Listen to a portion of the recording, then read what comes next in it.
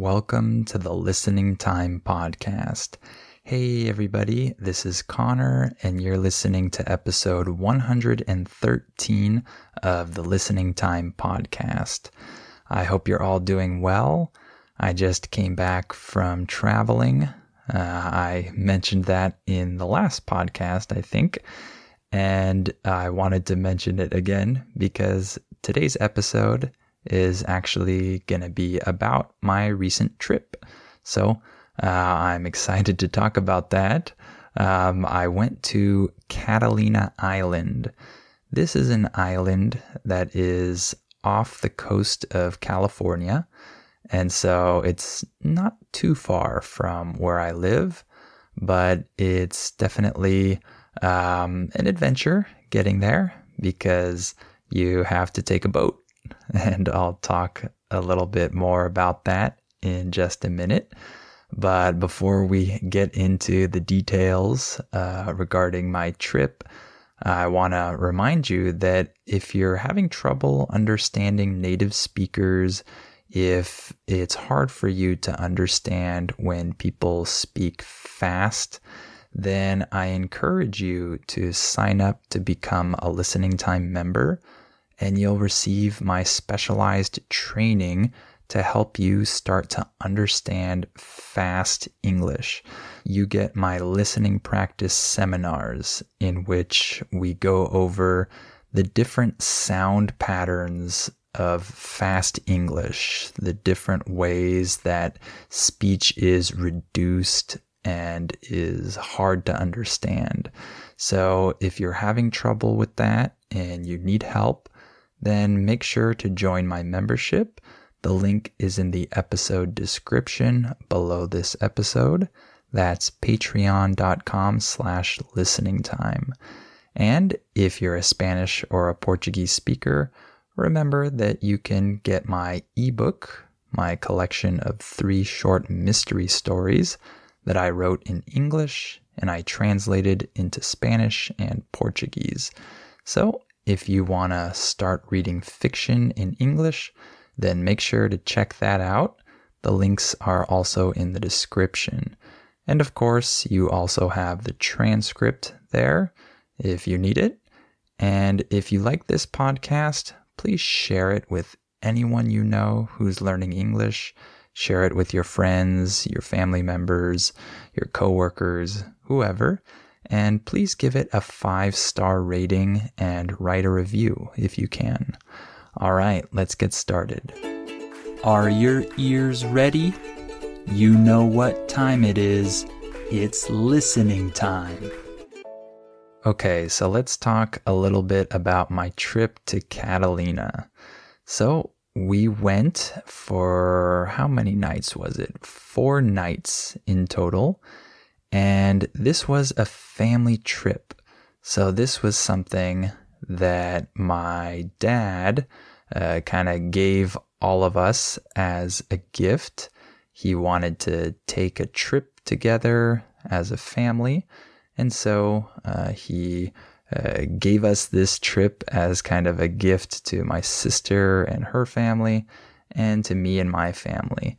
And so we all went together uh, my sister and her husband and their kid, uh, their young son, and my parents, and then me and my wife and my son.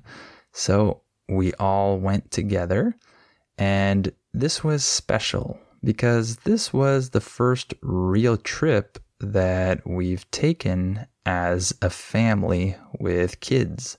So this was something a little bit different from the normal trips that we might take.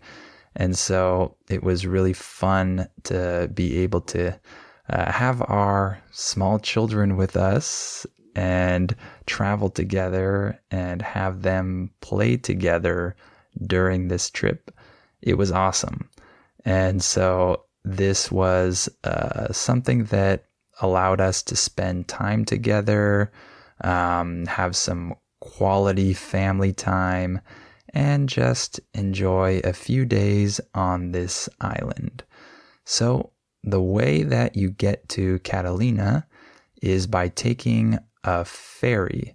So, a ferry is a boat that you can take, um, usually for short distances.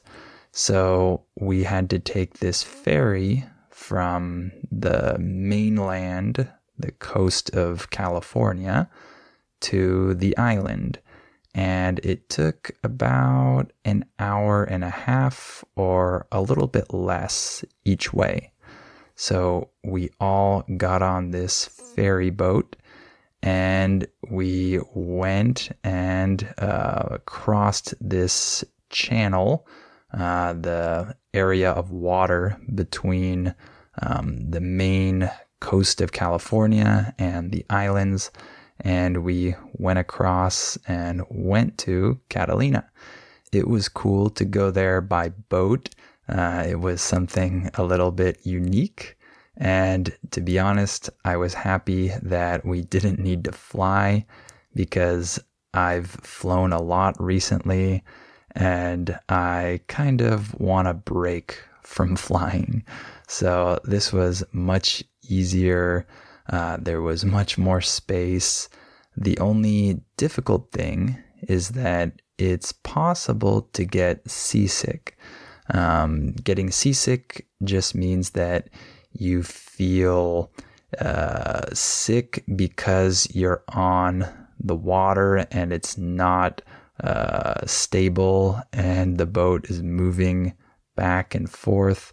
And so if you get motion sickness, then you probably get seasick if you go on boats. Uh, thankfully, I didn't get seasick but normally I do have this problem.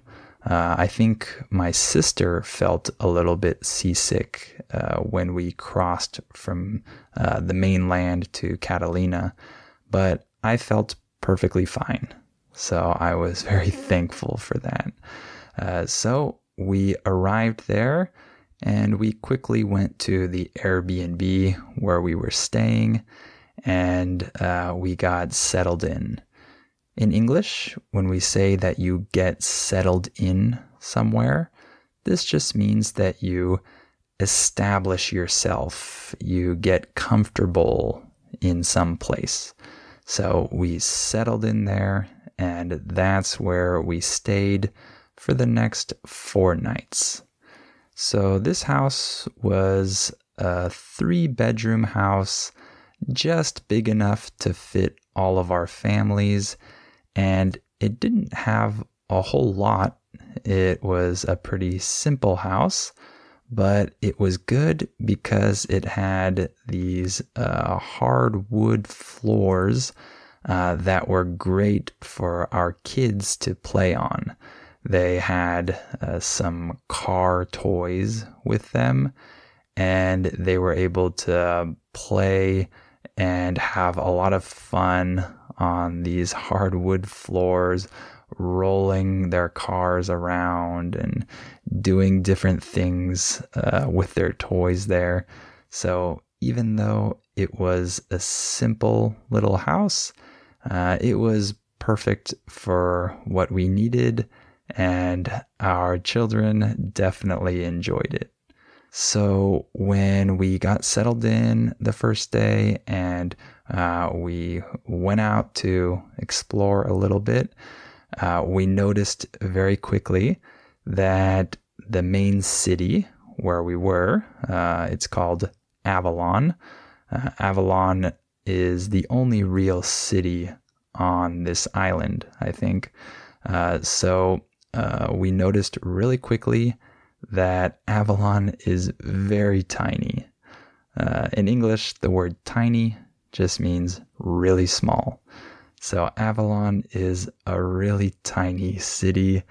Uh, it's very easy to walk across the whole main part of the city in uh, very little time, uh, much less than an hour, uh, probably uh, less than 30 minutes, even. So it's very small, it's very easy to get around. And that was good because we were traveling with young children And it can be hard to get around uh, when you have toddlers uh, and they uh, walk really slow, or you need to uh, pick them up and carry them, and that kind of stuff. Remember that the word toddler refers to um, a young child who is no longer a baby. So usually we call children toddlers around the age of two. Uh, once they're walking and maybe saying some words or phrases, and they're a little bit past the baby stage. So, uh, our kids are toddlers, uh, and so it was good that this city was pretty small um, to be able to get around easily. And we also didn't bring a stroller for my son. Uh, the word stroller refers to the little cart that you use uh, to push your baby or young child around in. So we didn't bring a stroller. So he was either walking or we were carrying him the whole time. And so we walked around the little city and we spent a lot of time at the little beach that they have there. It's a very small strip of sand. Uh, there are actually a few strips of sand, so I guess you could say there are a few mini beaches, but they're all uh, very close together, and there isn't a lot of space there. Uh, so it's not a very impressive uh, beach environment, really. It's more like a harbor environment. A harbor is a place where there are boats that are parked there, I guess you can say. They're uh, stationed there, and uh, people can uh, spend time in their boats just floating there, or sometimes they take their boats out and go somewhere else, but they keep their boats at this harbor, and that's where they uh, station them for long periods of time. So uh, there's this harbor there, and it's not really like a typical California beach, let's say. Uh, so uh, we were able to do a few activities when we were there. Um, like I said, we spent time at the beach, but uh, maybe the most interesting thing that we did was we took a little submarine tour. Um, it was in this small boat slash submarine type thing. It doesn't go all the way underwater. So um, there's always the part of it that's above water, and the other part is underwater. And so we went into the bottom part, and uh, what they do on this uh, submarine tour is they take you to different places where there are a lot of fish and they give you the chance to shoot food out of the submarine at these fish. So you pay a little money to have a certain amount of food, and then you press this button and it shoots the food out. And then the fish come and eat the food. And uh, this is really interesting for kids. Uh, our sons really loved this. Um, it was cool for us too, actually uh, to see just hundreds and hundreds of uh, fish uh, swarming the submarine trying to eat this food. By the way, in English, if we say that uh, people or animals swarm something, what we're saying is that they go in big numbers around some area and they surround it. So these fish swarmed the submarine, trying to eat all of the food that we were shooting at them. And these fish know that they're getting food. Uh, they do this submarine tour many times every day. So these fish are kind of trained to know that they're going to get fed if they see this submarine out. So the fish already naturally come to the boat. And so they're already there, ready for you to fire the food at them. In English, we can use the word fire as a verb to mean that you shoot something. For example, he fired his gun. So they're already there, ready for you to fire this food. So that was fun. And we also took a bus tour. Uh, we took a tour um, that took us to um, some different places around the little city. And then it took us kind of up the hills around the city so that we could see Avalon from different angles uh, from up high.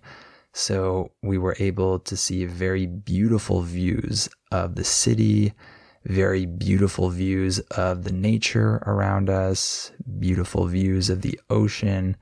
It was really nice and the weather was good. So there were some great uh, photo opportunities on this tour and we saw some different historical buildings. Uh, we saw some interesting architecture, and uh, the tour guide was very nice. Uh, she was a funny lady.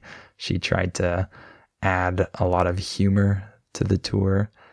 And by the way, in the US, it's very common to tip your tour guide. If you take a tour and there's a guide who is um, running the tour, it's very common to give a little tip to that person after the tour is over. I just wanted to mention that because it's an important cultural fact that might be useful for you. So, uh, we had a nice tour guide, and the tour was very informative. And I think we learned what we needed to learn about the island. And there were some interesting facts uh, that we learned during that tour. Um, let me just list a few of them. So, there's only one gas station available for the people that live on this island, and it is really expensive. It's the most expensive gas I've ever seen in the US. So that's uh, not a good thing, of course. And there are only a couple gas pumps there, and that's it. It's pretty interesting uh, that there's only one gas station, and there's also only one bank on the island. Uh, so there's one bank that everyone banks at. Of course, there are other ATMs, but uh, in terms of the real bank, there's just one. By the way, uh, the word ATM refers to these um, machines where you can go to withdraw and deposit your money. These are ATMs. And there's only one grocery store. Believe it or not, there's only one big store where you can buy all of your food and things like that. Of course, we went to this grocery store. Uh, we had to buy stuff from there. So you don't have a lot of options. You've got one gas station, one bank, one grocery store, and in total, there are only about 4,000 year round residents.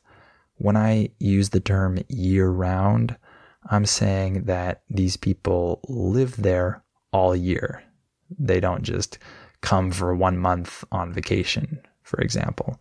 So, in terms of year round residents, there are only about 4,000, maybe a little bit less. So, the tour guide was talking about how that makes it challenging for people who uh, want to have uh, a thriving social life. In English, when we use the adjective thriving, we're talking about something that is very successful and is doing well.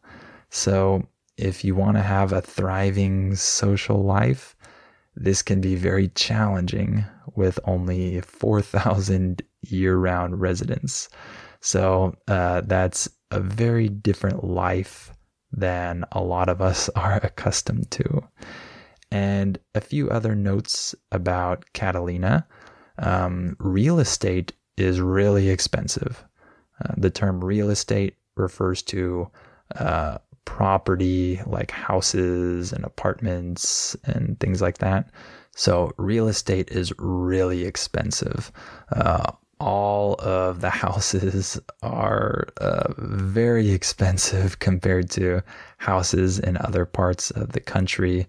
Um, most of the houses that we saw there are worth uh, at least a million dollars or much more in many cases. There are many houses there that are worth um, multiple millions of dollars. And restaurants are really expensive too.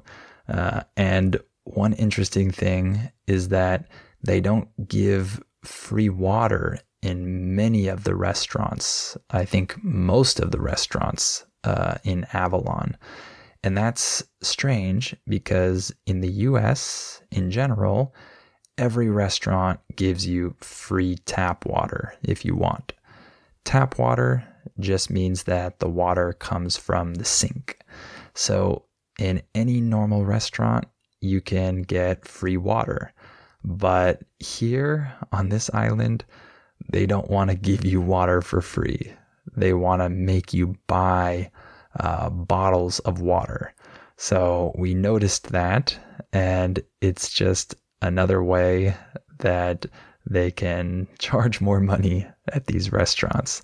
They're very expensive compared to the average restaurant. And to be honest, the food wasn't that good.